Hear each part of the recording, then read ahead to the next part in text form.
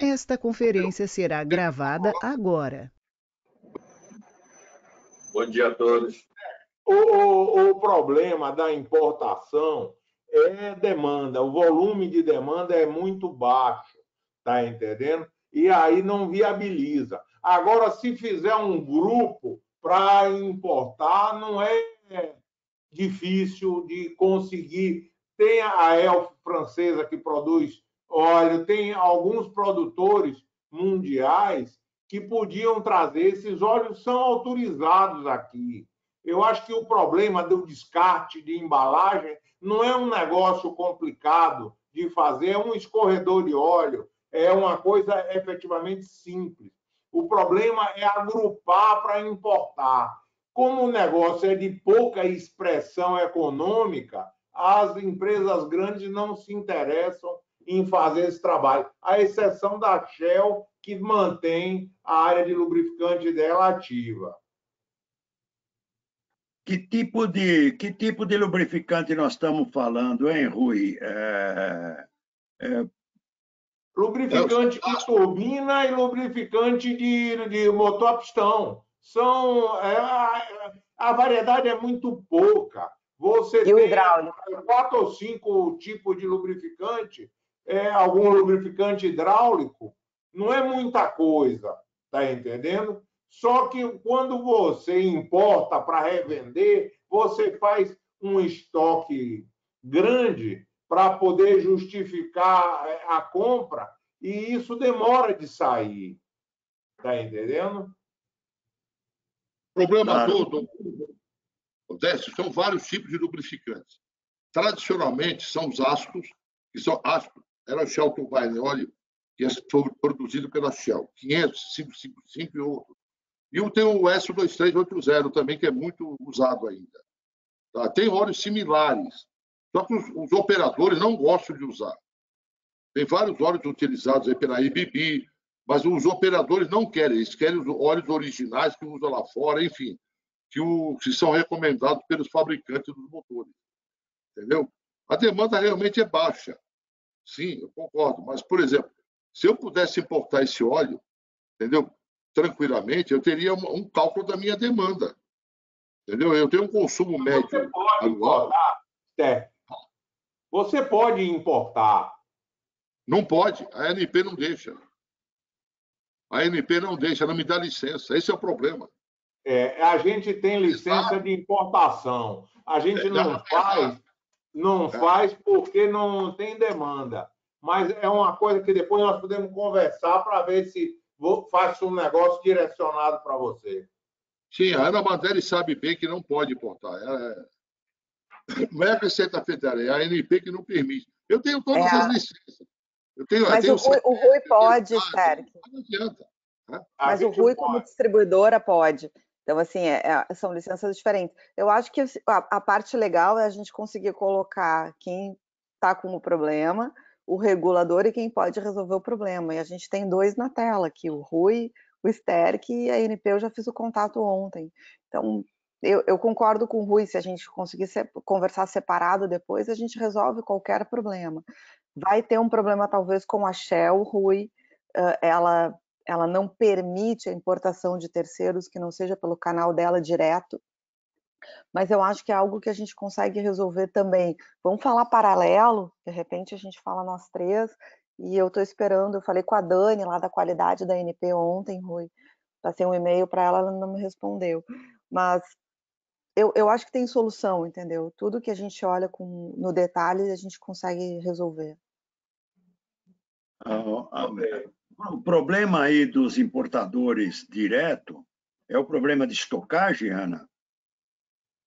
Não, é porque a Shell, como ela tem uma presença no país e ela é a produtora, uh, é o produto da marca dela, então ela só permite uma importação através dela mesmo.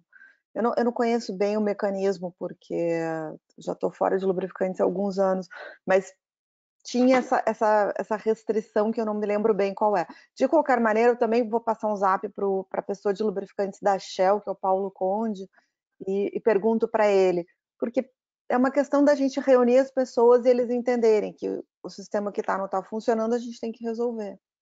Viu, Ana Mandelli? A Shell, é isso?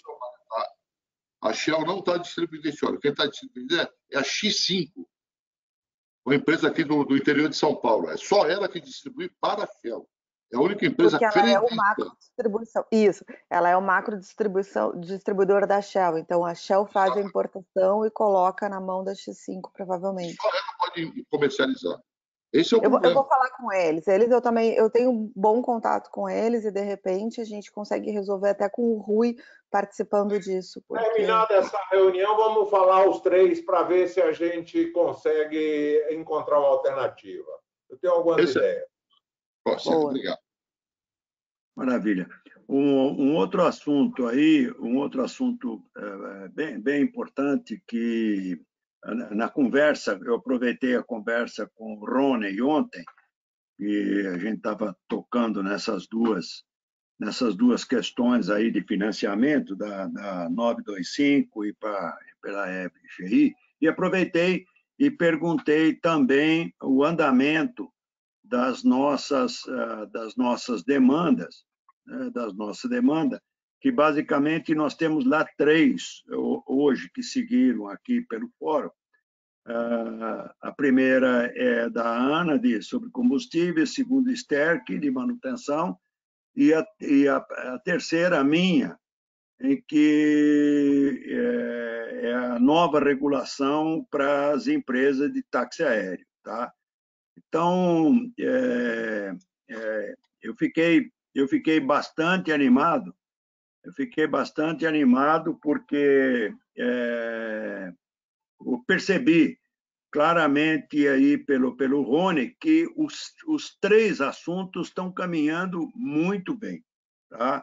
Evidentemente, evidentemente, por se tratar, é, viu, Afonso, isso agora é, tocando muito a questão do táxi aéreo, Flávio, a questão do táxi aéreo, então isso está está caminhando muito bem e, evidentemente, como envolve questões de regulação, é, que evidentemente vai cair é, no colo da ANAC, né? eles vão estar trabalhando junto aos técnicos da ANAC e etc., para evitar qualquer tipo de, qualquer tipo de armadilha né? em, em regulação. Evidentemente, é, o governo é muito cauteloso nessas questões, e, e o assunto está com. Como é que é o nome dele lá? O, é Rui ou, ou Ana?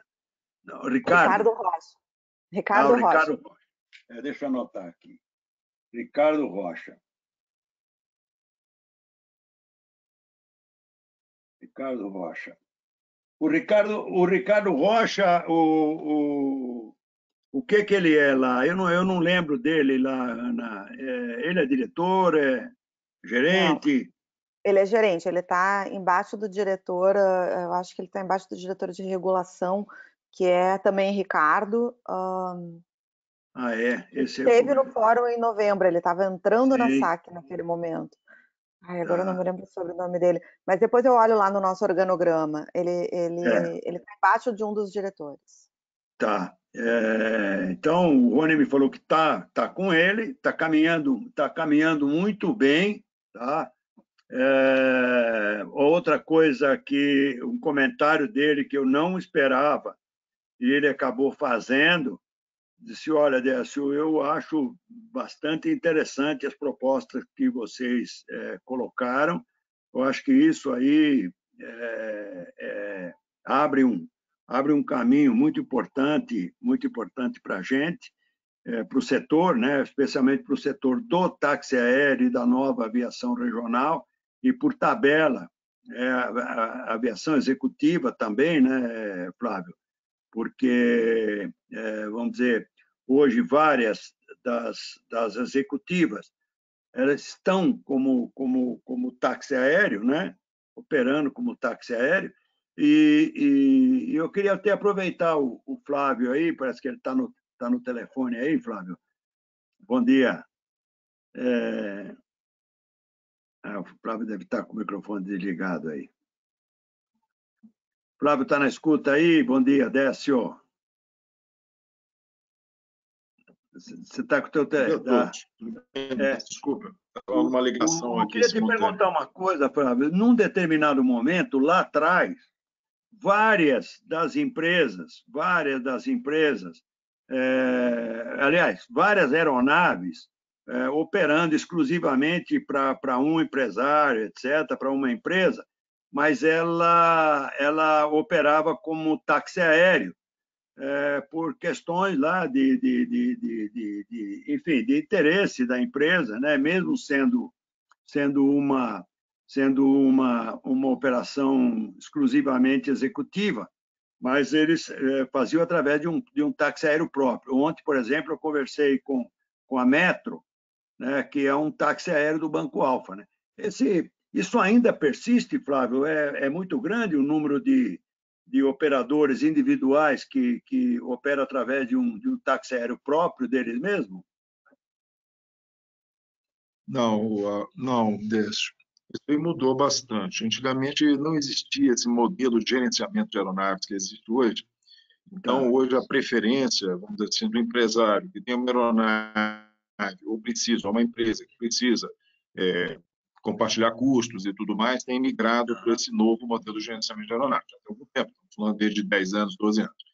Antes disso, o que você tinha eram contratos de fretamento exclusivo, onde você tinha empresas que tinham a propriedade da aeronave, né, faziam um contrato de arrendamento com uma empresa de táxi aéreo e depois faziam um contrato back-to-back de fretamento para poder aquela aeronave, vamos dizer assim, fretar a ele mesmo ou a empresa dele e a terceiros.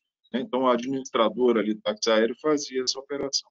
Isso hoje, e também outra coisa, é, existia aquele modelo da, do, do, do corporate aviation ou do proprietário privado que era mais em conta abrir uma empresa de táxi aéreo, que foi o caso da Metro lá atrás, ela não tinha um propósito específico de fretar aeronaves no mercado, ela fretava eventualmente, mas o objetivo principal era atender o grupo Alfa. Né? Então, é, aí nesse caso, na época o, o banco também, né? nesse caso, na época era mais interessante você também usufruir das é, reduções é, na importação é, do IPI e do ICMS para empresas de táxi aéreo. Você não só trabalhava com alíquotas reduzidas, né? o ICMS vinha de 18 para 4 e depois o IPI vinha de 10 para 5 e você ainda poder diferir isso em 10 anos tendo uma empresa de táxi aéreo. Então, existia um tax plan, uma vantagem. Mas, por outro lado, à medida que a regulação também foi crescendo, esse benefício tributário foi se anulando, porque para você manter uma empresa de aéreo também, você precisaria ter né, aquela coisa, um profissional contratado para ser responsável pela empresa, um engenheiro, um, um piloto-chefe, fazer todos os manuais sobre fiscalização do regulador frequentemente.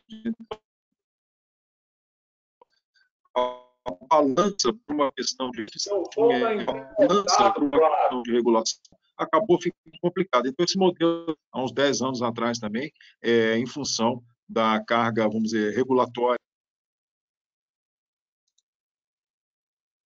Não ouvi, desculpe.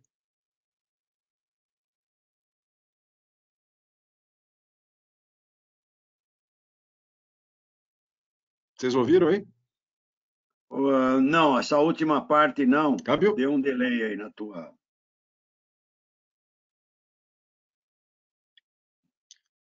Tá bom. Tá sem, tá sem som ainda. Vou tentar mudar. Eu vou tirar a imagem aqui. Pra... É, eu vou tirar a imagem para poder melhorar um pouco. É, são problemas técnicos aí de internet. Eu estava dizendo que há 10, 10 anos para cá, então, esse modelo é, em que as empresas é, faziam uso de uma empresa de táxi aéreo para poder gozar de benefícios fiscais na importação das aeronaves, que, a saber, o ICMS era 18 caía para 4 e o IPI era 10 caía para 5. E você ainda tinha a vantagem de diferir isso até ao longo de 10 anos. Né? Então, essa opção ela começou a ser, é, portanto, deteriorada né, ou contrabalançada por uma série de outros encargos que você precisava ter para poder manter a regularidade da empresa de táxi aéreo.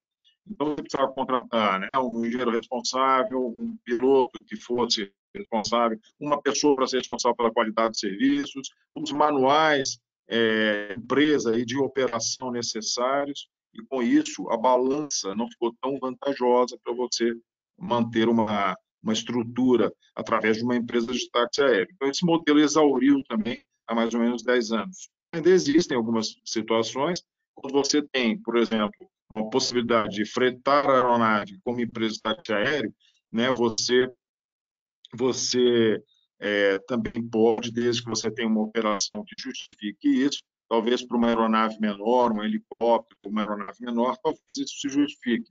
Mas para uma aeronave de grande porte, isso já muda totalmente de figura, onde o modelo de gerenciamento de aeronaves passou a prevalecer sobre esse modelo de empresa de táxi aéreo, vamos dizer assim, de fachada, né, que era utilizado antigamente. Então, hoje, o modelo preferencial mais econômico, mais racional, dentro do sentido de compartilhamento, é uh, o gerenciamento aeronaves.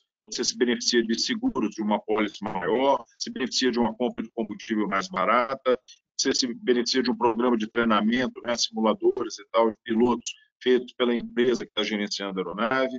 Então, você tem uma série de economias que é, possibilitam, fora a não ter que administrar a empresa. Você tem a aeronave, você tem uma empresa administrando a aeronave e você se concentra, logicamente, no seu business. Coisa essa que não era possível quando você tinha.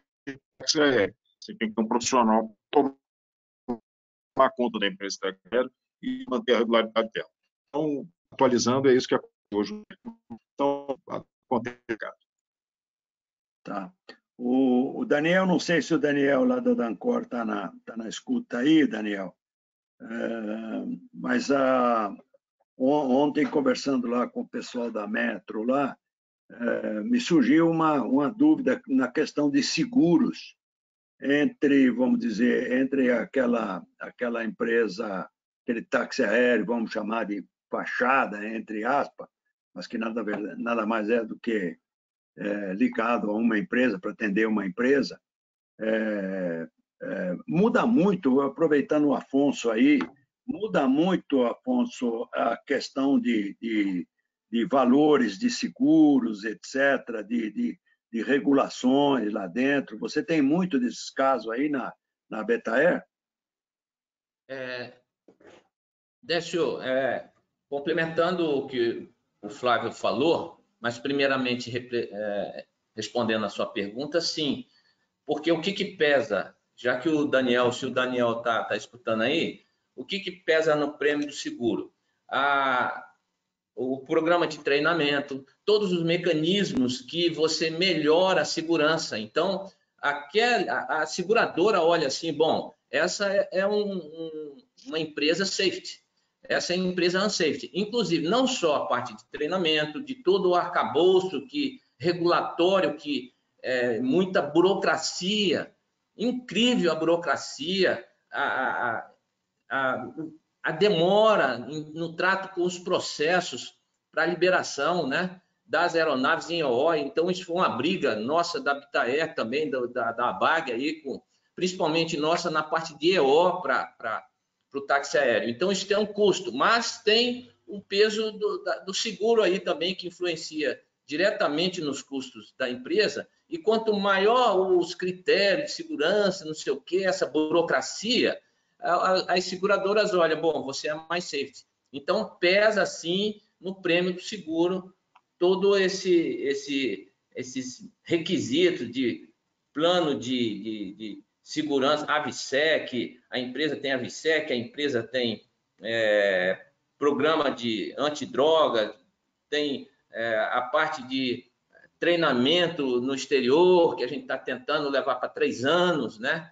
Então, isso pesa tudo, né, Daniel? Ah, o, o piloto que treina no simulador, obviamente, ele estará melhor adaptado para uma situação de emergência. Aí eu me reporto como investigador de acidente e nos, no tempo que eu passei vendo, e realmente ele reflete, e como piloto também, isso faz diferença sim. Aí o seguro entra lá, não, você cumpre o requisito, você cumpre tudo, então você consegue negociar o prêmio de seguro. É isso mesmo, Daniel?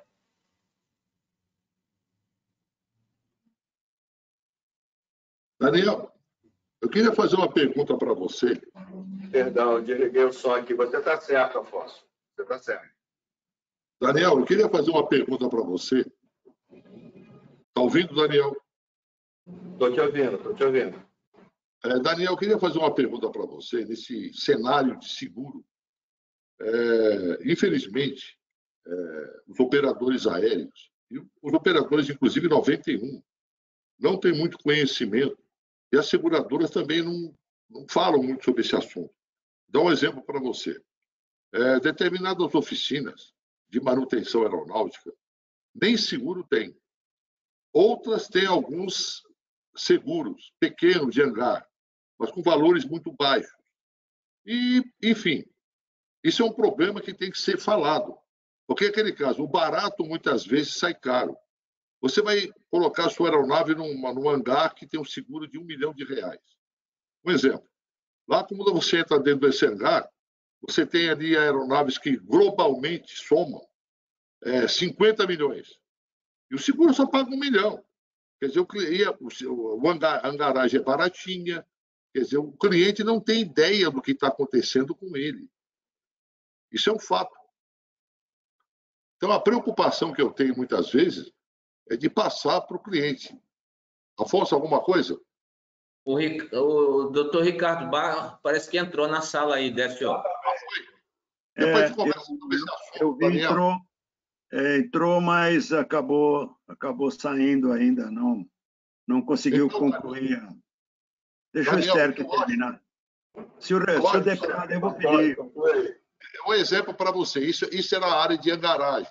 Aí você vai para a área de manutenção. Que proteção essa empresa de manutenção vai dar para o meu, meu aeronave no caso de um acidente, de um incidente e tal? Que proteção vai dar na hora que eu vou fazer um voo de experiência? Vai ter alguma proteção ou não vai ter? Enfim, esse assunto não é passado para o proprietário. O proprietário desconhece completamente é, essa, essa possibilidade de avaliação. Isso é um problema dentro do mercado, porque às vezes você se você oferece para o cliente muita coisa, mas ele não desconhece esse fato. Eu acho que a seguradora teria um papel muito importante na divulgação. Pô, leva lá que lá tem seguro para você. Lá não tem seguro para você. Sabe, informar esses fatos, porque isso tem que ser avaliado dentro do processo. Não é só avaliar o preço do serviço aeronáutico, é avaliar também se aquilo está coberto por uma seguradora. É igual o Habitaer. Se ela, um táxi aéreo com seguro é uma coisa, um táxi aéreo sem seguro é outra coisa completamente diferente. A hora de voo é mais cara no táxi aéreo com seguro? Claro que é. A hora de voo é mais barata onde não tem seguro. Aliás, a hora de voo é mais barata mesmo que não seja nem táxi aéreo. Enfim, os famosos TACA. Então, isso tem que ser esclarecido para o público usuário. E a seguradora nisso tem uma importância fundamental. Obrigado. Eu só queria, eu, eu, eu, deixa eu só fazer uma, o Ricardo Barros está tá, tá tentando entrar na sala aí, comandante Afonso, eu, eu vou pedir para você focar bastante pergunta em cima da aviação regional, ok? De regulação da aviação e a importância da regional, que é um assunto que ele domina bastante, o próximo, mesmo o táxi aéreo, mas de qualquer maneira ele ainda está sem som, está é, sem som e sem imagem, se alguém estiver nos ouvindo aí, o, o deputado Ricardo Barros está sem som e sem imagem. Então, é, Ana Mandelli, é, você é, focar é, nas perguntas de isonomia, de CMS nos estados e. Parece que ele está tentando entrar. E, e a 925, tá, Ana? É, ah, okay. a gente ficar bem. É, ele está tentando, tá tentando se conectar. Desculpe, o, o, Daniel, quer responder? Eu só peço que vocês, quando o deputado entrar efetivamente, interromper para mim poder dar. dar... Opa! Estou recebendo uma ligação aqui. Oi, Carlos.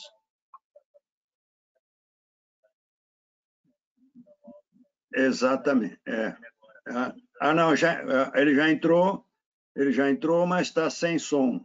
De... Ok.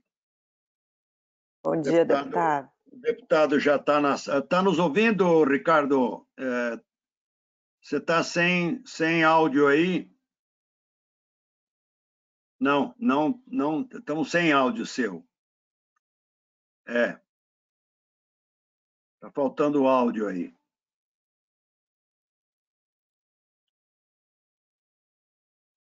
Ok, vamos aguardar aí. Quer respondendo enquanto isso, Daniel? Enquanto... Ah, acho que agora vai só ligar o microfone aí, Ricardo. Pronto. Positivo. Opa! Tá lá. Tudo bem, Ricardo? Bom dia, deputado. Bom dia bom a todos, bom dia a todos. Desculpa o ah, atraso aí, mas fiquei me batendo aqui com, com, a, com o aplicativo. Tá bom. Bom, Ricardo, eu vou entrar direto. Eu sei que você está abafado numa viagem aí, vou entrar direto aí para a pessoa fazer uma, fazer uma breve apresentação, apresentação sua. É, deputado Ricardo Barros é engenheiro civil, empresário, deputado federal pelo estado do Paraná, foi o mais jovem prefeito de Maringá, é, eleito então com 29 anos, precoce. Foi relator do orçamento é, do governo em 2016, líder do governo na Câmara, ministro da Saúde está atualmente em seu sexto mandato como deputado federal. É, eu acrescento que tive a oportunidade, junto com o deputado, deputado Ricardo Barros, implantar em Maringá o parque o parque aeronáutico de Maringá um projeto é, é, bastante ambicioso no aeroporto de Maringá que é um dos um dos um dos mais modernos aeroportos regionais do hemisfério sul muito obrigado pela sua presença deputado e o microfone é seu para suas primeiras palavras aí que eu já vou passar para as perguntas do pessoal aí eu quero agradecer a oportunidade da reunião. Eu sou vice-líder do governo no Congresso aqui e estou, é, vou ser o líder do governo na Comissão do Orçamento. Então, vou estar aqui numa posição de boa influência, né? se vocês tiverem. Vamos ver no que eu posso ajudar. Estou à disposição. Muito obrigado. Vamos precisar, já temos uma. Então, aproveitando, deputado, eu já passo ah, para Ana Mandelli, a nossa especialista na área de combustíveis, e da qual, como, como o deputado conhece muito bem e domina muito bem esse assunto, o problema dos combustíveis é um calcanhar de Aquiles aqui no Brasil. Eu passo já para a Ana Mandelli para a primeira pergunta. Deputado, bom dia. Obrigada aí pela presença, por nos prestigiar. Saiu tudo do ar. Está me ouvindo? Estou ouvindo, estou ouvindo, pode ah, falar. E, é, sobre a questão de combustíveis, eu acho que a gente tem uma pauta bastante extensa que não daria para tocar nessa reunião hoje, mas tem um assunto que é mais urgente, que de repente a gente consegue trabalhar juntos, que é a questão dos impostos. Então, hoje a gente tem um imposto federal e um imposto estadual no combustível de aviação, e dentro dos dois produtos que a gente usa em aviação, tanto a gasolina como o querosene, esses impostos ainda são diferentes.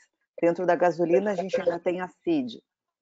Então, temos feito um pleito aí para o governo para, nesse momento, tirar os impostos federais do combustível de aviação, tanto da gasolina quanto do querosene, no caso do querosene o piscofins, da gasolina tanto piscofins quanto a CID, e um segundo momento, então, um segundo pedido, é a questão do ICMS, um apoio com cada estado. entendo que no seu estado do Paraná a gente também tem esse problema.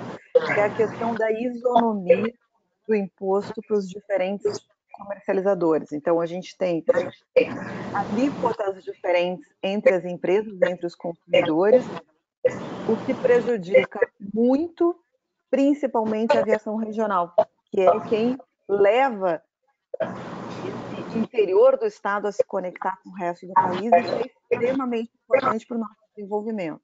Então, colocando de duas maneiras, o primeiro é um pedido de apoio aí para a isenção dos impostos federais, e o segundo, um apoio junto aos estados para a gente ter uma unificação dos impostos da gasolina e do querosene, e principalmente que todos os consumidores sejam contemplados com essa redução de imposto. Tá bem. Eu vou, eu espero receber de vocês uma. Bom, não preciso dizer para vocês que reduzir imposto é tarefa dificílima, porque o governo mal arrecada para pagar suas contas. Mas eu tenho uma relação muito forte com a aviação regional, já é, gosto muito disso. Minha mãe foi brevetada com 15 anos, ela tem 83 hoje. Meus, meus avós tinham um táxi aéreo, o primeiro táxi aéreo de Maringá, ainda quando a cidade foi fundada, e tenho muitos pilotos na família. Eu gosto muito da ideia de, né, de desenvolvimento, de reativar os dos mais de 100 aeroportos que já tiveram aviação comercial e não tem mais. Né? Mas vocês sabem como funciona o lobby das grandes aí, que engoliram as pequenas e o órgão regulador batendo palma para esse modelo de, de é, vamos dizer assim, de ação predatória né, do, do sistema. Minha praça mesmo, lá, Maringá, nós tínhamos excelentes voos da Webjet, aí a ANAC autoriza é, uma companhia grande a botar o voo no mesmo horário da Webjet, quebrou a Webjet e a companhia grande saiu no outro dia. Né? Então, é, uma, é, uma, é, é, lamentável que o regulador não perceba como eles prejudicam né, os, os usuários com esse tipo de, de favorecimento às grandes operadoras. Mas existe e nós precisamos conviver com esse problema. Né? Eu tive um táxi aéreo, levei três anos para conseguir ativar o táxi aéreo. Depois saí da sociedade e tal, levou mais três anos para poder para poder conseguir sair formalmente da sociedade. Isso é um, né, é um absurdo como a, a regulação não, não, não se é, não tem conexão com a realidade, com os custos que ela é, impõe ao sistema. Mas vamos lá, nós temos um, um grande caminho pela frente, né? uma resistência enorme das grandes operadoras, que nem avião pequeno tem mais. Agora começou né, uma operação mais efetiva de de voos com caravan é, contratados pelas grandes empresas. O Paraná tem algumas coisas caminhando naquele modelo que você falou, reduzir o ICMS da empresa para a empresa poder é, abrir novas praças de atendimento. Então, tem empresa que paga mais, tem empresa que paga menos, conforme o número de, de, de cidades que ela atende dentro do Estado. Foi uma maneira de incentivar as empresas a abrir linhas em cidades que não eram atendidas. É um modelo que está estabelecido aí. Então, eu estou à disposição. Tem mais algum pleito? Depois eu quero que você me mande, Ana Helena, por escrito isso para o meu zap, e eu vou imprimir, vou ler. Você pode passar as outras questões mais complexas dos combustíveis. Eu fui membro da CPI dos combustíveis aqui, faz 20 anos talvez, e aprendi bem como é que funciona a máfia do setor aí. Então, você pode me passar por escrito. Algum outro tema para nós falarmos hoje? A 925 seria interessante, não, Ana? Isso. A 925. É, eu, não, eu não sabia se eu podia fazer a segunda pergunta. Segundo, deputado, eu queria lhe pedir um apoio uh, para aprovação da, da, da MP 925, que está nesse momento na Câmara para aprovação, e ela é o nosso guarda-chuva para as medidas para aviação uh, nesse momento, para as empresas de aviação nesse momento. Tá bem. Nós estamos trabalhando nisso, as medidas provisórias aqui estão sendo votadas sempre de última hora, né? É, tá um, tá um, uma briguinha aqui de Câmara e Senado, então aprova no último minuto para não dar tempo dos outros dar palpite. É uma pena, porque seria sempre útil que mais pessoas pudessem contribuir. Mas eu vou, eu não, não posso afirmar agora que isso está acordado, mas eu responderei para vocês. Okay. O, o Flávio fez algum sinal aí, Flávio? À vontade. Sim, nós saudar o deputado aí, bom dia, obrigado aí pela, pelo apoio. É um complemento, na verdade, em relação à MP 925, que, como nós sabemos, ela versa mais especificamente sobre os grandes operadores do setor da aviação civil, versa pouco sobre, ou nada, sobre os pequenos operadores. Então, lá se fala muito da relação né, de é, passageiro e passagens, e, empre, e empresas de linha aérea regular, fala dos grandes ah, operadores aeroportuários em relação a outorgas, em relação aos seus aluguéis, mas ela não desce na camada né, de apoio, e lembrando que também pertence a importante setor da aviação civil, as empresas de táxi aéreos, oficinas de manutenção, os, os, os empresários e empresas que trabalham com a, angaragens né? E principalmente assim é que esse setor que é a, a base da cadeia, né, de, de alimentação, de tudo isso que está aí acima, ela é muito mais frágil do que os grandes é, que estão, portanto, aí é, acima nesse setor. Então, é só uma lembrança que a MP925 ela não contempla todo o setor, é, ela contempla um pedaço do setor, esquecendo a base da pirâmide, que é igualmente importante para a sobrevivência do próprio setor. Ok? Isso. Entendido. O comandante Fala, Afonso, Afonso, coloca uma pergunta. Ô, deputado, bom dia. Eu sou o comandante Afonso aqui da Associação Brasileira de Empresas de Táxi Aéreo.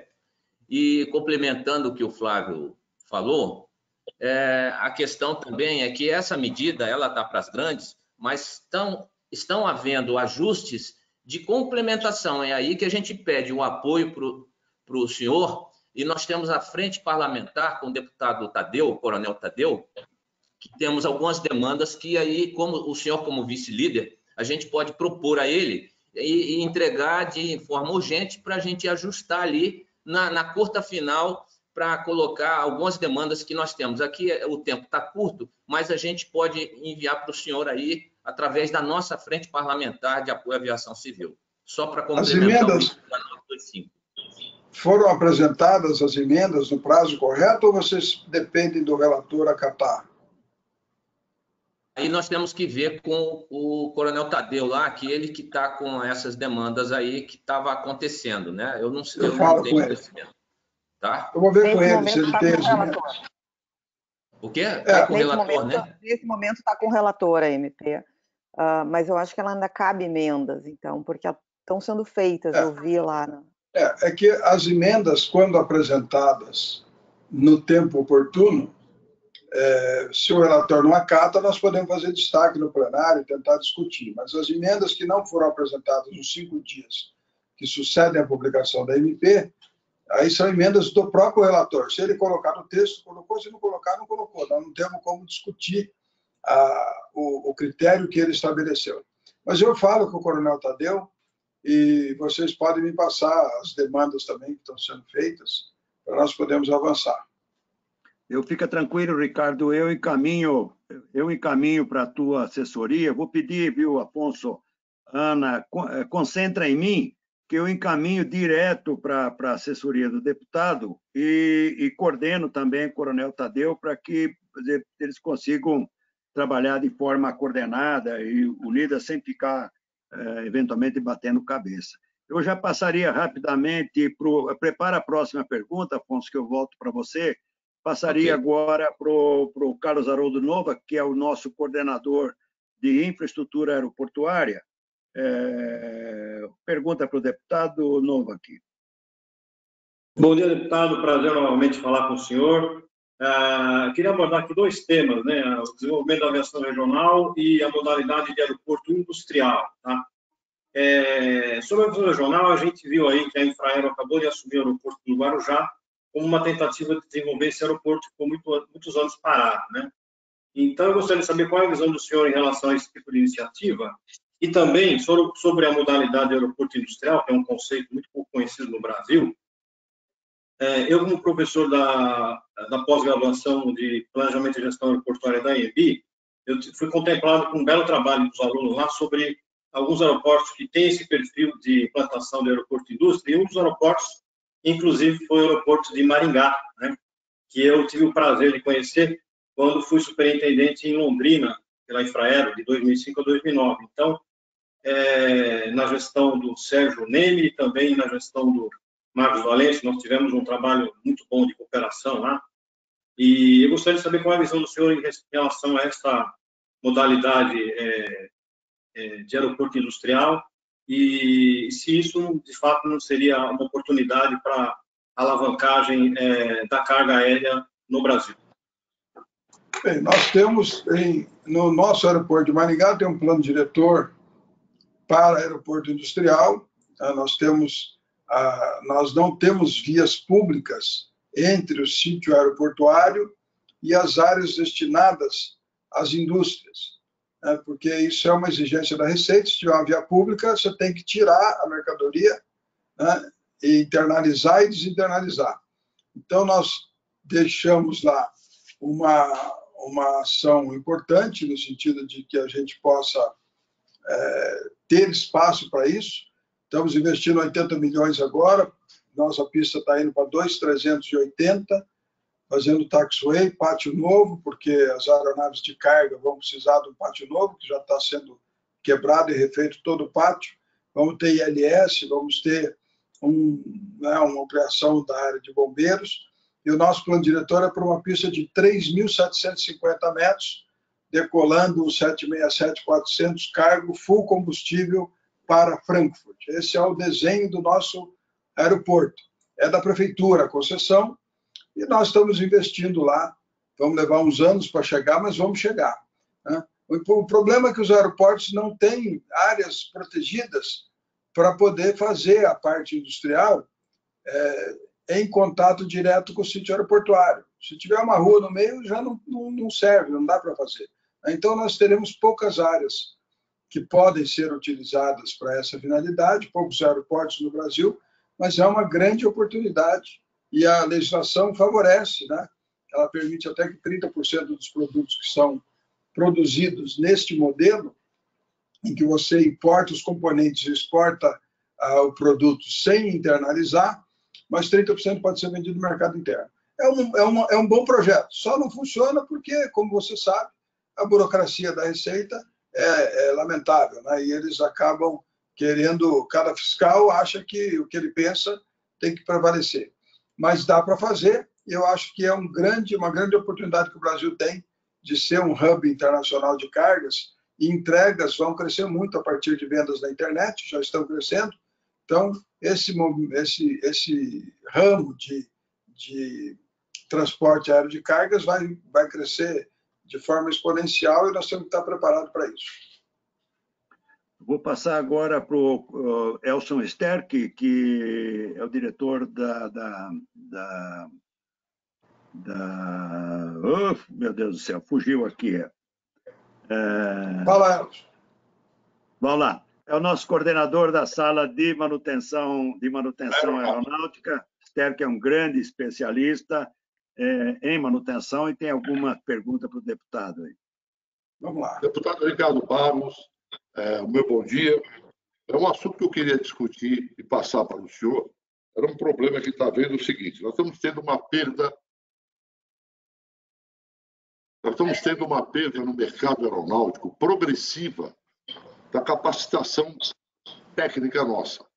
É? Isso é causado principalmente porque durante ao longo dos anos, de 10 anos para cá principalmente, as aeronaves homologadas no Brasil, os fabricantes retiram da, da documentação técnica dessa aeronave, na parte de venda, os manuais dos componentes.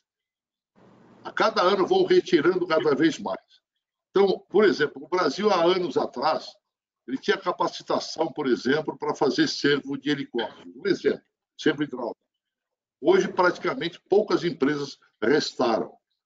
É, Bell 407 precisa fazer um overhaul de um servo hidráulico, ele tem que mandar para os Estados Unidos.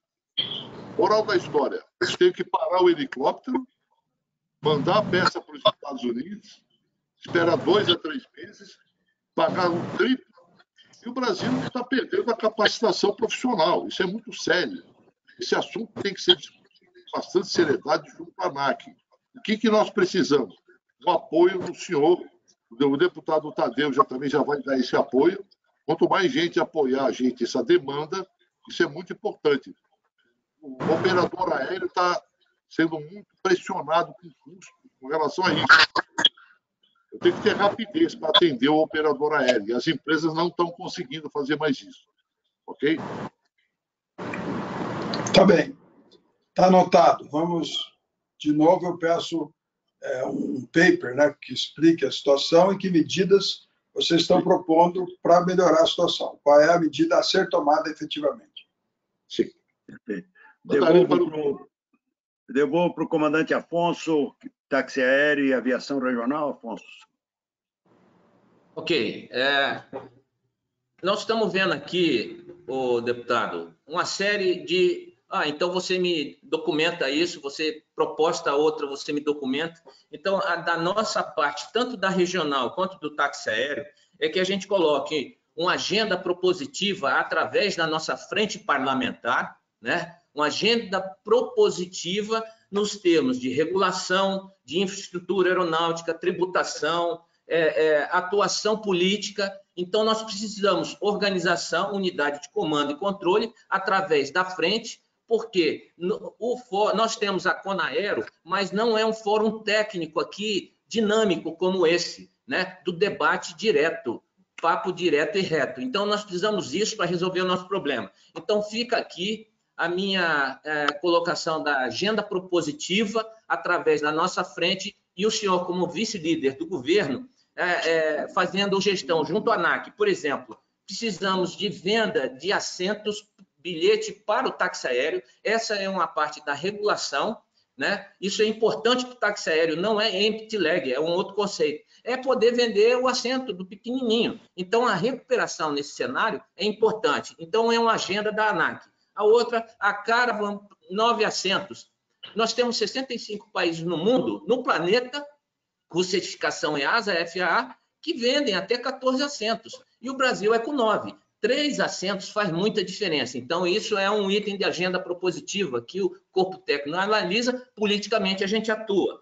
E a, a terceira é aeroportos, aeroportos regionais. O senhor muito bem sabe, como melhor do qualquer um aqui de nós, a origem da, da sua família, do pai do senhor e, e sua história de vida, é que é, nós precisamos de garantias. Não adianta você colocar o pequenininho com o cara de 900, de repente abriu a picada, chega o grande engole. Então, para investimento, para aviação regional, nós precisamos de incentivo e algumas garantias. Não é reserva de mercado, não é isso que se trata, mas como a gente faz, faz isso. Então, finalizando, nesta agenda propositiva, nós temos que sentar através desse fórum aqui, do Fórum da Aviação Regional, nós temos a pauta, agenda e entregar para via frente parlamentar aqui esse canal e a gente debater de uma forma ampla e atuando em cada, em cada setor, seja na, na CNT, seja na Conaero, seja na SAC, infraestrutura, nos vários campos. Mas esse esse espaço aqui sendo esse fórum, com essa agenda propositiva. Essa é a nossa visão para todo o segmento, que o táxi aéreo é a porta de entrada da aviação regional. Olha só, Gilmar. 10h42. Tá, viu? Comandante Décio. Sim. Eu gostaria, eu preciso, eu preciso sair, que eu tenho uma viagem. Eu queria dizer o seguinte: por exemplo, você falou sobre assento em táxi aéreo. É, o que nós precisamos aqui, não adianta você ir lá na ANAC e achar que alguém lá vai sentar para escrever o que, que precisa mudar na norma para você ter acesso em táxi aéreo. Nós temos que levar isso pronto. Olha, tal norma tem que tá, acrescentar esse artigo, tirar essa vedação, tem que isso. O, o, a estruturação da tarefa tem que estar pronta. Porque senão a gente conversa, conversa, conversa e ninguém põe a mão na massa, entendeu? Então, nós precisamos, quando a gente quer resultado, a gente tem que ser objetivo tem que chegar lá na ANAC e falar: ó, nós queremos que suprima esse artigo aqui, queremos que essa norma seja alterada assim, isso, isso, isso. Precisa de lei? Precisa de lei. Vamos para o Congresso. É só interno, é uma decisão da regulação, vamos pressionar a regulação. Mas a tarefa tem que estar objetivamente proposta. Eu propus, o comandante Décio sabe, já aqui formalmente, e aprovei uma vez na Câmara e foi derrubado no Senado, as linhas pioneiras. Eu chamo linha pioneira uma linha que liga o aeroporto a qualquer outro, né, um aeroporto que não tem nenhum voo comercial, a qualquer outro que tenha voo comercial. Você é um alimentador. Né? Então, se você tiver abrir uma linha pioneira, você tem que ter 10 anos de exclusividade. Ele fala, ah, mas é anticoncorrência. Mas que concorrência? Não tem ninguém lá. Que concorrência que você está impedindo? Né? Por que isso? Porque daí você financia o teu leasing em 10 anos, você estrutura o seu negócio, você vai perder dinheiro nos dois primeiros anos, mas sabe que depois vai ganhar, né? E a gente cria uma, uma, uma possibilidade real de nós termos é, linhas aéreas em todos os aeroportos do Brasil, porque o empresário que vai fazer isso, ou um conjunto de empresários que quer ter é, é, movimento, né, quer ter uma, uma, uma mobilidade melhor, eles vão investir naquilo mas no futuro vão vender essa linha para uma companhia quando eles criarem o mercado.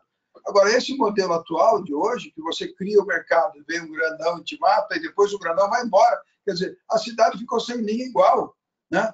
Não, pode, não pode continuar prevalecendo. Então, eu fui derrotado nesse processo aí, porque eles alegaram que isso era anticoncorrencial. Mas não é, não é possível, que nós, nós já tivemos 240 aeroportos comerciais operando no Brasil com linha comercial. Né? Então, as condições estão plenamente colocadas para que isso funcione, mas tem que existir uma segurança para quem faz o investimento. E aí você falou, e eu estou muito, eu tenho muita convicção dessa questão que eu estou falando, mas o, né, o lobby das grandes vem aqui na ANAC e aí começa, não, não pode, não pode, não pode. Claro que pode. Né? É melhor você dar uma exclusividade de 10 anos do que ficar pagando assento vazio, como queria fazer um tempo atrás. Né? Vamos, vamos avançar nisso. Eu tenho compromisso, gosto do setor, entendo razoavelmente do setor, é, tenho compromisso de ajudar, vou falar com, com a frente parlamentar, vocês encaminhem os pleitos para eles com cópia para mim e eu vou ajudar no que eu puder, tá bom? Eu quero peço desculpas, eu tenho que correr para a viagem, mas estou à disposição. E quando precisar, desce, pode marcar outra reunião com os amigos aí. Muito obrigado a vocês. Obrigado, Ricardo. Boa viagem. Obrigado por tudo. Já já chega o material na sua mão aí. Um abraço. Tchau, vamos tchau. Ficar, vamos ficar nós mais um pouquinho aqui, gente. Agradecendo aí o deputado. O que eu posso dizer para vocês é o seguinte: eu conheço profundamente, eu peço desculpas se eu não consegui passar para todo mundo, Flávio. Eu tinha mais, tinha mais, é, gostaria de mais colocações tuas aí, mas, é, lamentavelmente, o, o deputado está vindo para São Paulo para um almoço com esses 50 mega empresários aí que precisam trabalhar, é, que precisam trabalhar e, lamentavelmente, é, estão aí é, presos a uma série de uma série de disputas aí políticas que nada tem a ver com o trabalho. Bom, o, o, o que eu quero passar para vocês. Primeiro, é, eu tenho bastante trânsito com, com o deputado, tenho bastante intimidade com toda a estrutura dele, conheço como ninguém o estilo de trabalho dele, ele é ele é pragmático e ele quando bota uma uma missão debaixo do braço, ele não volta para trás. Então, vou pedir, viu, Flávio, se você precisar de qualquer coisa, qualquer demanda que você especificamente tenha pela BAG, me coloca, eu encaminho direto para ele. Nós vamos fazer o inverso, viu, Afonso? Nós vamos encaminhar para o deputado com cópia para o Tadeu. Eu, aliás, vou me comprometer a, falar pessoalmente com o Tadeu, porque o, deputado, ele é um veterano. Ele é um homem de seis é. mandatos, ele é um homem de seis mandatos, foi ministro de Estado, fala direto, ele, olha, é, é, é, ele fala direto do presidente para baixo, ele fala com todo mundo. Paulo Guedes, com todo mundo. Então, e, e, e, como ele disse, ele, ele, é, ele é um camarada muito modesto, ele não é de ficar fazendo mais o assunto, o, o, o, Afonso, está um, um, capítulo em separado do Caravan 12 assentos, tá? ele conhece como ninguém isso e abraça, tá? abraça. Ele entende claramente que nós precisamos desse avião. E eu garanto para você que o assunto vai ser muito bem encaminhado, tá? Você está querendo falar alguma coisa, Afonso? Desculpe. Está desligado o teu microfone aí. Teu microfone está desligado. Está ok, estou ouvindo. Tá. Então, Afonso, pode dedicar um capítulo em especial ao Caravan, aos outros todos pleitos aí teu, pode colocar ponto a ponto, eu encaminho, faço questão de colocar na, na, na, na assessoria dele, tanto em Brasília como aqui em Maringá. Tá? É... Deixa eu só atender, desculpe aqui. Oi, alô? É... Então, Flávio, à vontade, é, me, me encaminhe o que você quiser. Haroldo, também. O, o deputado gosta de trabalhar, eu gosto de trabalhar objetivamente, tá? Então, bota na mão dele o que, que você quer, o que, que você precisa, ele vai em cima do teu paper. Ele é um cara cheio de, de compromisso, etc. Mas, olha, gente, ele não mistura estação, tá? ele é um cara executivo, ele é, é, é propositivo. Ana, da mesma maneira também, A, B, C, D, o que, que você quer dele, me encaminha, que eu mando para frente. É, Rogério, desculpe, eu não consegui passar a bola para você aí, é, porque nós tivemos muito pouco tempo. Agora, se for o caso, eu acho sim que talvez fosse nós darmos um rebate, pergunta a vocês, dá um rebate com o deputado, ele vem, não há problema nenhum.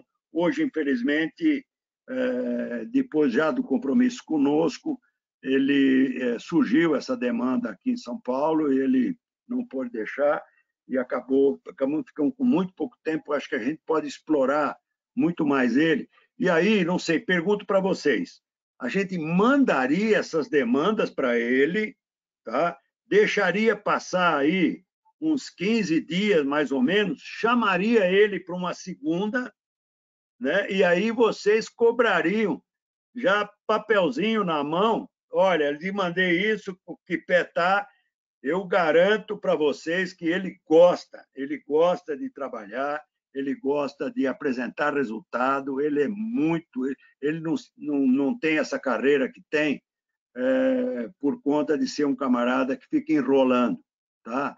É, então, é, Nova aqui, Rogério, Everson, se você tiver alguma coisa, Flávio, é, Ana, me bota esse material que eu imediatamente encaminho, falo com, falo com, com o Tadeu também, e ele também é muito amigo do Major Olímpio. Quando ele precisa de alguma coisa lá no Senado, é, é, o Olímpio é um, é um parceirão dele. Ele hoje é o vice-líder de, de, de, governo, deve ser o líder nesses próximos dias, eu imagino, tá? Então, gente, vamos aproveitar ele. Eu acho que daqui a uns 15, 20 dias, a gente chamaria ele de volta já para cobrar resultado. O que, que vocês acham? Eu teria uma sugestão, Décio. É, claro, é, se opa. me permite aí, eu, eu tô pro, é, nós temos outra vídeo agora às, às 11 horas, né? Acho que o Afonso vai participar também. Isso. Vou ser breve aqui. É, o, eu queria só fazer uma sugestão.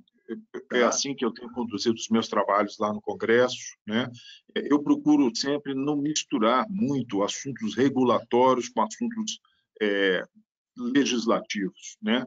Embora haja uma influência importante, a presença do parlamentar ela é importante muitas vezes, mas eu sinto sempre uma, uma relativa animosidade da ANAC quando pressionada por parlamentar, que o cara sabe que se a pauta é aquela que você está defendendo lá dentro, é, e chega um parlamentar lá para cobrar dele uma agilidade ou uma mudança de entendimento, isso é, geralmente no, numa agência reguladora que é, é por definição independente né, para essas questões, é, eu, eu, eu, vejo com muita cautela. Então, é, eu iria sugerir que assuntos é, legislativos do Congresso sejam exclusivamente os tratados com os parlamentares. Então, toda vez que tiver uma porta como essa, eu proporia aquilo que depende do Congresso, aquilo que depende dele. Então, nós temos aí MP 925, nós temos pela frente, não houve oportunidade de falar, mas daqui a pouco vai ter, é, vai ter reforma tributária, tem lá IPVA para a gente discutir, tem uma série de iniciativas caminhando em direção ao IPVA.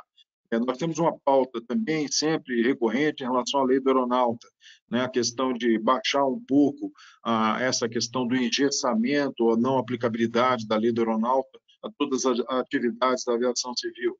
É, eu concentraria é, nessas pautas especificamente, a redução dos impostos aí sobre combustíveis, acho que é crítico, é o top one de qualquer demanda que a gente possa fazer, e sim, esses são assuntos do Congresso. E ele gosta né? disso aí. Então, é, se a gente ficar aumentando muito a nossa pauta com questões regulatórias, que eu acho até que a gente tem competência e, e condições de resolver juntos, né, ou, ou separados, né, a questão do, do Caravan, que o Afonso é, mencionou, questão da venda por cento, a BAC já está trabalhando dois anos nesse negócio, está para sair, está na boca do forno, né? eu acho que não, não vale agora um empurrãozinho, eu queria sugerir a vocês que esperassem um pouquinho para apertar esses botões, porque essas coisas também já estão em tratativas finais, é, dentro do regulador. E a, em matéria regulatória, tem que ser tratado dentro do regulatório, do regulador com a nossa influência, que eu tenho certeza a gente tem, tem plena condição de, de poder agilizar. É demorado, a gente sabe disso, né? tem pouco braço lá para fazer as coisas que interessam para a gente, mas é, eu queria fazer essa sugestão nesse documento que nós vamos encaminhar. Eu, eu queria que a gente concentrasse especificamente nos assuntos. Né? Fica a apreciação de vocês, logicamente, né? É, eu acho que é onde o cara pode atuar. Fora isso, a gente até acha que ele pode atuar melhor do que eles. Tá? Ah, ah, Rui, teus comentários, Rui? Bom, é, a, na minha visão, o que eu pude observar é o pragmatismo do deputado. É, o que ele quer é um paper de cada assunto que interessa. Nesse momento, é a gente preparar o paper dentro das prioridades nossas. Então, acho que aqui se podia definir é, o que é que vai atuar. Na área de combustíveis, vai ter uma linha de atuação e acho que tem que separar nessa área de combustível o aspecto de regulação, o aspecto de tributação federal e de tributação estadual. São coisas diferentes e áreas diferentes de atuação. Então, tem que ser desdobrada. Na mesma coisa, os assuntos em relação à ANAC, eles precisam estar agrupados para o encaminhamento, se for o caso. Eu concordo com Flávio de que a posição de uma pressão na ANAC precisa ser de uma forma que não, não vire uma, uma representação política somente. Tem que ser uma representação política com cunho técnico. Então, é importante que a gente tenha lá na ANAC um representante político que fale tecnicamente para poder a gente ter. E as demais demandas a nível estadual de tributação é uma, uma ação que tem que ser feita junto ao CONFAS. E aí é bom que seja alguém da área tributária, um, um representante especializado na área tributária que é preciso identificar dentro de nosso escopo de relacionamento quem é que tem esse perfil. Porque não adianta uma pessoa que não conhece, vai na área tributária, a primeira colocação dele vem um argumento contrário, ele não vai estar preparado para se defender. Então, essa é a minha opinião. Uh, Ana, tuas observações? Eu, totalmente de acordo com o que o Rui e o Flávio falaram. Eu acho que a gente, eu tenho procurado direcionar as perguntas de combustível para o legislativo, ações que eles tenham uh, domínio, e por isso eu foquei absolutamente só no que eles podem falar, e eu concordo que a gente pode dividir sempre as coisas. E eu também não gosto, comandante, de colocar questões regulatórias no legislativo, porque acaba atrapalhando e, e, e, e muitas vezes o, o, regulador se sente acuado, não tem muita, não, não, tem, não é muito efetivo. Então, eu vou seguir nessa linha, no mesmo tipo de proposta que nós já fizemos ao Coronel Tadeu, sem tocar nos assuntos que são direcionados a SAC e ANAC e focar nos pleitos que já são muitos, que são da área tributária, tanto de curto prazo estadual e federal, quanto de longo prazo na reforma tributária. É, é assim que eu vou, vou montar o documento. Ok. Uh, comandante Afonso, teus comentários? O, a fala dos, dos três. O Flávio iniciou, fez uma colocação muito, muito coerente, o Rui complementou e a Ana definiu. A questão que, só para esclarecer, eu também me alinho com isso, isso é muito importante, a gente tem unidade de comando e controle na, nas Forças Armadas é assim, na Força Aérea é assim, me permita a minha, minha origem, mas é, aqui nós temos um, um espaço bastante técnico e operacional, né? e com, com pessoas que têm muito conhecimento. O importante, viu, Décio, porque nós lá no fórum, lá atrás, nós já estruturamos alguma coisa. E ontem você não estava na sala, nós tratamos disso depois que você saiu, é que agora aquelas primeiras, é, para furar já a segunda onda, a gente já está passando, tá na, estamos na, na, cara do gol aí, como a Anda trouxe hoje, a, a 925, que eu já tinha falado lá, lá atrás, mas agora a gente já começa a colocar em curso o trabalho desse fórum com o, o grupo de especialistas e a gente estruturar, viu, viu Décio? Eu me, me, me coloco à disposição, assim como eu não tenho dúvida que a BAG também, o Flávio, trabalha muito bem lá, um grupo, a gente vai colocando os, o que fazer, isso, isso, isso. Como? Esse aqui é regulatória, então a gente ajustando o programa de trabalho, isso aqui é no Senado, então isso aqui não mistura para cá. E lá na BAG eu, eu já vi trabalhos dele que eles trabalham muito bem isso. Aqui na Habitaera eu sou sozinho, eu tenho um secretário, tenho os outros, o corpo.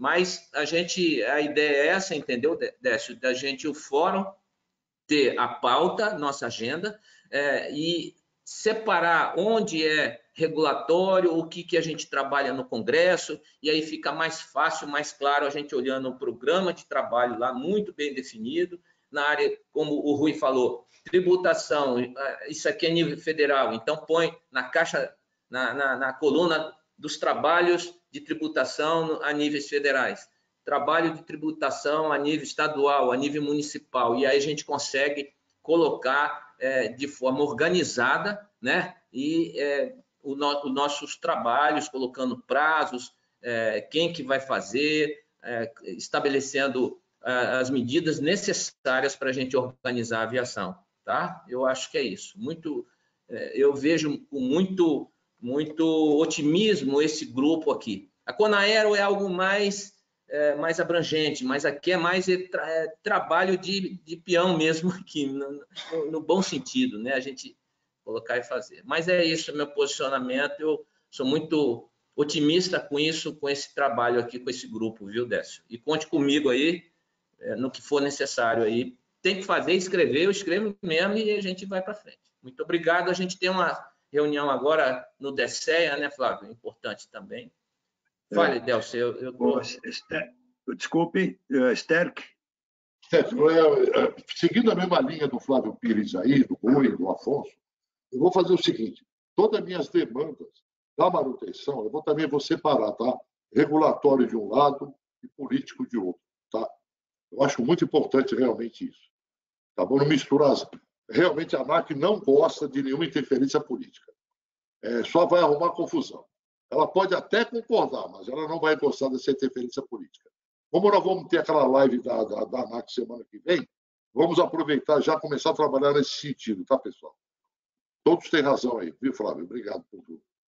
Ok. É, é, Rogério, suas, suas, suas palavras, desculpe, onde é que está o Rogério aí? Tá, tá, tá, tá, tá, tá. O Rogério. Ah, Rogério, Está aí, uh, tuas palavras aí, Rogério, o que que você depreendeu aí? Qual é a tua...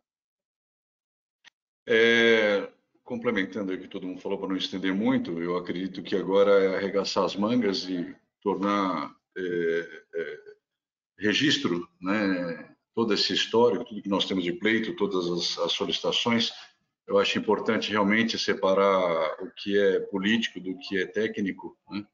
e a gente não, não, não deixar essas coisas se misturarem, não. Acredito que todo o envolvimento e toda a dedicação, inclusive, fico até feliz de ver que já existe um processo na boca do forno com relação a, a, aos assentos vazios. Né? Eu gostaria até depois, se tiver mais detalhes, gostaria de entender que essa é uma das nossas preocupações, não só minha, mas de todo o segmento aqui. E o Afonso sabe muito disso, dessa nossa, nossa briga aqui. Mas eu acho que eh, tem esse entendimento que agora é arregaçar a manga e tornar a coisa histórica, registrar, passar e cobrar, criar rotina para poder cobrar, né? ter realmente é, pessoas que estejam alinhadas lá na linha de frente, ou seja, Congresso, Senado, eles têm que falar a mesma língua, para a gente não ficar queimando cartucho também. Eu acho que esse alinhamento, Décio, da, da, do, do, discurso é extremamente importante. Né? Podem chegar vários pedidos da mesma coisa, mas de maneira diferente. E isso não pode ter dificuldade de entendimento. Eu acho que qualquer atraso de velocidade nesse nosso processo agora nos condena muito. Né? As coisas estão acontecendo de uma maneira muito rápida e elas têm que ser é. práticas e, como eu costumo dizer aqui, claro para burro. Então, assim, não pode ter dúvida. Ninguém pode ter dúvida lá na frente, não pode titubear, não podemos queimar cartucho agora.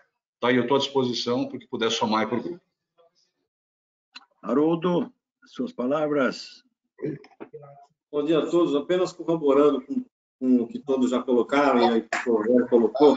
Realmente, quando você leva uma demanda para uma autoridade como essa, tem que estar tudo mastigadinho, tudo muito bem explicado. Eu até me lembro aqui de um, de um caso que, quando eu estava em Congonhas, que é, eu fiz uma visita para o é Tribunal de Justiça de São Paulo.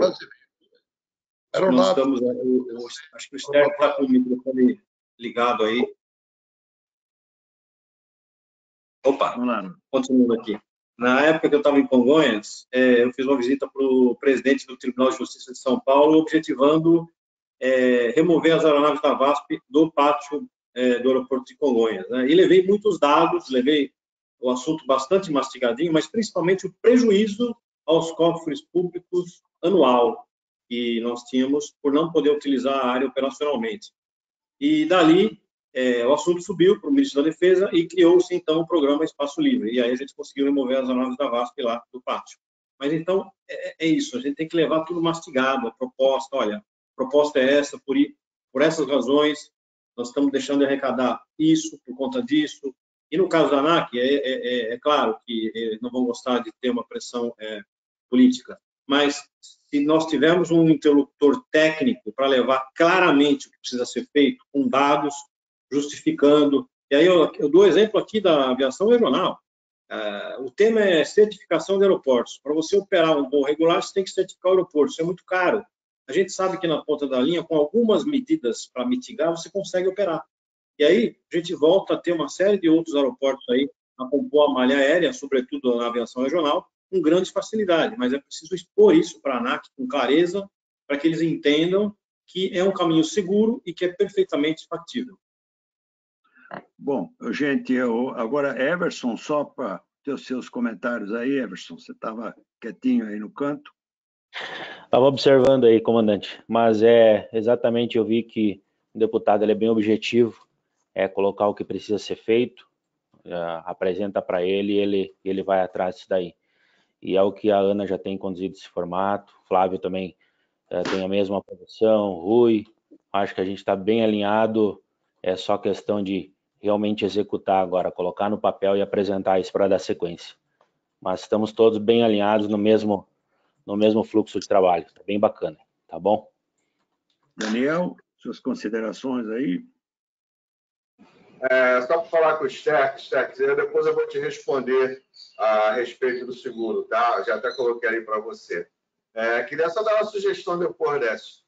Como eu tenho acompanhado a Ana, acho que todo mundo, né, a gente frequentando aqui a sala, é, mesmo depois do término da pandemia, e como o nosso fórum será realizado sempre uma vez por ano, tá, eu acho que seria interessante, mesmo antes desse, da data do fórum fisicamente, a gente, uma vez por mês, marcar o mesmo bate-papo desse daqui, a gente conversar sobre vários assuntos, para quando a gente já for para o fórum, principalmente o pessoal que é coordenador, já está com N coisas já agendadinha para poder conversar com o restante das pessoas que não participam aqui no, no fórum virtual. O que, que vocês acham? Pelo menos uma vez por mês a gente bater um papo. Muito bom, muito bom. A gente vai realmente procurar fazer isso. E se você me permite, Daniel, eu gostaria de fazer uma, um, um comentário final, que é o seguinte: uh, cá para nós. Em primeiro lugar, Ninguém gosta de pressão. Né? Ninguém gosta. Você não gosta de pressão dos teus associados, o Haroldo não gosta de, de pressão dos, dos seus é, concessionários, é, o Rui não gosta de pressão dos seus clientes, a Ana não gosta de pressão do, do, do tio, do avô, do patrão, de quem quer que seja. Mas eu gostaria de, de, de, de ponderar com vocês o seguinte: é, quem é um deputado? Um deputado estadual, um vereador, quem é um senador da República? Quem é essa figura? O que que, o que, que ele é? Será que nós podíamos parar um pouquinho para nós pensarmos quem é ele? Não. Quem é, quem é o deputado, hoje, o deputado Ricardo Barros? Né? Quem é esse cara? Quem é o Jair Bolsonaro? Ele também não gosta de pressão. Ele não gosta de ninguém dando palpite lá em cima. E lá, na verdade, ele é um dos um, hoje um dos mais trapalhões da, que, que, esse país já produziu, chutando canela de todo mundo que está ali exercendo é, é, é, é, direito democrático e ele não tem direito democrático nenhum de falar o que ele fala, as bobagens que ele fala e as palhaçadas que nós assistimos aqui entre nós. Então, é, gente, se vocês me permitem, um deputado federal, ele é eu. Um deputado federal é eu, é Elson Ster, que é o comandante Afonso, é Ana Helena Mandelli, é o Nova, que é o Everson, é o Rui, etc. Ele nada mais é do que nós. O, por acaso, é, Deixa eu... amigo... Oi? Décio, eu tenho que sair, que eu tenho a reunião do DECEA. Muito obrigado, pessoal. Ah, valeu. Dá licença, valeu. mas Vai tranquilo. Muito obrigado. Bom dia, a gente se fala. Um abraço. Aí eu também já vou, já vou lá já. Bom, então, enfim, é, é, como bem pontuou, eu não, não me lembro aqui, acho que todos, de uma certa maneira, o deputado ele é um grande, ele é um grande conhecedor do setor de aviação. É, eu acho que ele já começou. É, ele e, é, e é, um, é um político de uma habilidade, não é à toa que ele está em seis mandatos, etc e os cargos todos, se vocês é, entrassem no site dele, vocês veriam quem é o deputado Ricardo Barros e, e tudo aquilo que ele faz e, e, habilidade que esse homem tem de saber exatamente como é que ele se comporta dentro de uma Secretaria de Aviação Civil, dentro do Ministério da, da, da, da Infraestrutura, da, da, da Economia e etc., seja lá aonde for, ou dentro da casa dele, ou na casa de um. De um é, é, veja bem, por que é que esse homem está pegando um avião para vir aqui almoçar com 50 dos maiores empresários do Brasil? Vocês acham que se os 50 maiores empresários, a maior fortuna desse país, não sabem trabalhar sozinhos, sem precisar de um deputado? A pergunta que se faz é essa aqui. Será que o senhor Paulo Scaff, o presidente da Federação das Indústrias do Estado de São Paulo, precisa de um deputado ficar lá pagando almoço para o camarada e servindo vinho francês para ele? Eu acho que ele precisa sim, gente. Hoje, mais do que nunca, desculpe, eu não, não, vou, não vou assinar embaixo. Algumas coisas precisam é, ser mudadas e precisam ser mudadas com. Olha, se a autoridade não gosta muito de pressão, nós estamos fazendo pressão. Eu estou fazendo pressão diariamente em cima de um ministro da infraestrutura, em cima do, de um presidente da SAC, em cima de, de um presidente da ANAC, enfim, em cima de um deputado federal, em cima de um senador. Eu estou fazendo isso diariamente, toda hora, eu vivo disso. Né? Então, gente, olha, é, evidentemente nós não precisamos de nenhum trapalhão que entre lá dentro da, da, da, da entre dentro da, da, da, da ANAC e diga para eles qual é o, o, trabalho que eles têm que fazer. Agora, se vocês querem ouvir alguma coisa desse bobalhão aqui, oh, gente, a ANAC precisa sim aprender a trabalhar, gente. Eles têm que aprender a trabalhar. Eles são um manhaca. Eles são um poço. De, de, nós vivemos aqui, vocês todos estão reclamando um monte de o dia inteiro sobre problemas de regulação, gente. Nós estamos discutindo regulação. Esses caras são é tudo muito, muito ruim. O governo é muito ruim, desculpe. Ah, não, estamos resolvendo. Estamos resolvendo quem? Você está resolvendo alguma coisa, Sterk? Rui, você está resolvendo alguma coisa? Desculpe, a Nova, que está resolvendo. Claro que ninguém gosta de pressão. Você está achando que o, que, o, que o presidente da Infraero gosta muito de ver entrar um senador dentro da sala dele e ficar dizendo para ele o que, que, o que, que não está funcionando dentro da Infraero? Claro que não. Mas esse é o papel do senador, desculpe. Esse é o papel dos deputados, esse é o papel do, dos vereadores, esse é o papel da sociedade cobrando autoridade.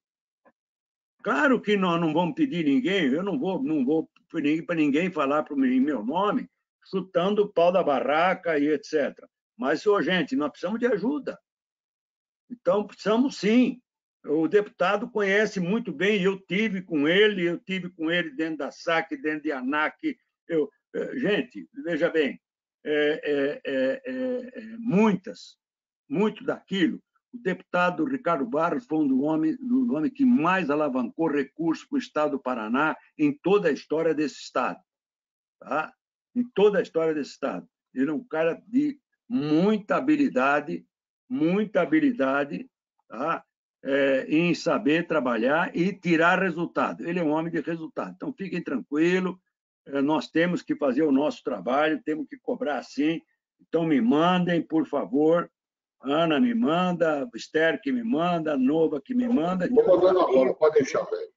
Vamos embora. É, uh, comandante, eu só queria fazer uma ponderação, tá? Eu concordo, eu concordo contigo que uh, ninguém gosta de pressão, mas eu acho que ninguém também falou sobre não não fazer pedidos regulatórios ao deputado para evitar pressão. Não é isso. O uhum. problema é que quando a gente faz um pedido regulatório para a Câmara dos Deputados, que não é com eles, muitas Sim. vezes a bola vai quadrada e vai. chega quadrada do outro lado e a gente nunca mais consegue arredondar. Ela acaba assim, a ANAC vai receber uma bola quadrada de um deputado e vai acabar ou destruindo ela ou, ah, ou seguindo com ela quadrada a gente não vai ser efetivo. Eu não acho que a gente de, não deva pressioná-los. Eu concordo que a gente ainda não conseguiu o trabalho da ANAC, uh, um bom trabalho com a ANAC, mas eu acho que eles precisam primeiro vir aqui escutar tudo, e na hora que eles nos derem um não ou que as coisas não andarem, daí a gente faz a pressão no momento adequado e da forma adequada. Claro, claro. Mas nesse momento que a gente tem o massacre reagindo extremamente positivo ao nosso pleito, uh, que a gente tem o Marac não respondendo, e eu vou, eu vou até comentar com vocês, eu ia falar contigo depois, mas eu falei com outro diretor da ANAC hoje, com o Tiago Pereira, e ele me explicou que o Juliano não está respondendo, porque assim como nós fizemos o pedido a ele, outras 500 empresas, entidades e fóruns pediram a mesma coisa. Então, o meu pedido ao Tiago foi: tá bom, Tiago, então uh, tu, tu podes vir em vez do Juliano, e eu acho que eles vão se conversar lá dentro, porque o que a gente precisa é de um diretor da ANAC, não do presidente da ANAC. A gente precisa fazer com que a roda comece a mexer Daniel, teu microfone está aberto. Uh, uh, a gente precisa fazer com que a roda comece a andar antes, inclusive, de trabalhar, de, de, de reclamar. Nesse momento, a roda nem começou a andar. Então, colocar um deputado dentro da ANAC vai nos atrapalhar e não nos ajudar. Acho que esse, esse foi o ponto do Flávio, e, e, a gente tem que aprender um pouco com isso, sim, é importante. A gente tem que saber a hora certa de, de, de apertar alguém, porque apertar por apertar não vai ser efetivo. Concordo, acho que esse concordo é o... inteiramente, e é por isso que nós estamos, uh, primeiro, nós estamos aqui com realmente eh, grandes especialistas em cada um dos seus segmentos. É, indiscutivelmente, é, eu estou me reportando mais à conversa do Flávio Pires é, com a questão de, de, ser bem, de ser bem definitivo regulação é uma coisa e, e, e pleitos legislativos é outros, etc, etc, etc. Eu não concordo com esse posicionamento. Eu jamais, eu jamais, eu, eu vivo, eu vivo também dentro da política do sistema de aviação civil há mais de 50 anos e aprendi algumas coisas com, com, a, com a minha experiência aqui, aprendi algumas coisas. Número um, não confunda as bolas. É, número um, não confunda as bolas é, peça aquilo que você deve pedir. Você tem o direito de pedir e tem o direito de receber. Né? Então, vou colocar, por exemplo, uma questão aqui, uma única questão, que não faz nenhum sentido e eu já vivo com essa coisa atravessada na nossa garganta há alguns anos, que é a questão do Caravan 12 assentos.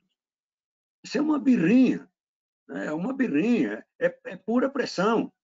Porque a grande verdade, Ana, a grande verdade, jamais nós colocaríamos um deputado dentro da SAC fazendo reivindicações nossas, nem, mas nem a pau furado. Jamais eu, eu permitiria uma coisa dessa, de que alguém fosse lá bater na porta do ministro Tarcísio, etc., pedindo alguma coisa para nós. A primeira coisa que ele, que ele vai responder para dizer o seguinte: ô deputado, eh, esse assunto eu já estou tratando com o Décio. Ele vai falar, vai falar isso, vai, falar, vai dizer isso. Como é que nós vamos pedir para alguém chegar lá fazendo uma reivindicação que ele está tratando com você? Ele nunca fechou as portas para nós, o telefone dele está sempre. Ontem, eu conversei com vocês, eu peguei no telefone para mandar quem representar nós lá? De jeito nenhum. Agora, sem dúvida, eu também estou bem, estou bem malandro aqui, jamais eu colocaria na mão do, de, do, do deputado Ricardo Barro alguma coisa que fosse bola quadrada, de jeito nenhum. E outra, também não vamos comprometer o, o até uma questão de, de, de, de, de, vamos chamar de protocolo, né? e isso me preocupa muito, de repente o deputado é, ligar para o deputado Tadeu, lá, é, e fazendo uma interpelação qualquer, que o Tadeu diz, pô, os caras falam comigo, daqui a pouco vem o... Então eu já vou imediatamente... Né? E, o, e o Ricardo é muito hábil, ele não vai de jeito nenhum é, é, misturar bolas, etc. Pode ficar tranquilo, eu só trago aqui para nós gente que nós temos absoluta confiança. Odécio, é... eu queria te pedir um favor rapidamente. Eu estou saindo agora, porque eu estou numa outra reunião, e, é. mas eu vou mandar todas as minhas demandas para você e, pro, e, para o comandante Afonso. Vocês é que decidem como vocês vão fazer isso, tá bom? Fica tranquilo. Bom, gente, tá eu acho que é, é por aí, estamos tá, bem, bem alinhados. Obrigado a todos. Sabemos, sabemos bem, eu vou, eu vou entrar agora na, na, na do Tesseia. E, bom, agradeço de fundo de coração, Dani, Ana, Malu, Novak, Everson, Rogério, Rui, muito obrigado aí a todos vocês. É, tenha certeza que nós temos um, um grande parceiro lá, mais um grande parceiro, e vamos esperar já. Eu vou fazer mais contato hoje para semana que vem a gente já começar a operar com a ANAC, né, Ana, para a gente poder já dar andamento nessas questões regulatórias aí, que acho que vai funcionar muito bem. Tá? Muito obrigado a todo mundo aí, um forte abraço e nos vemos mais tarde ou daqui a pouco lá na, na call lá do DCEA. Um abraço grande aí, um bom dia para todos. Tchau, bom dia. Tchau, gente. Tchau, gente.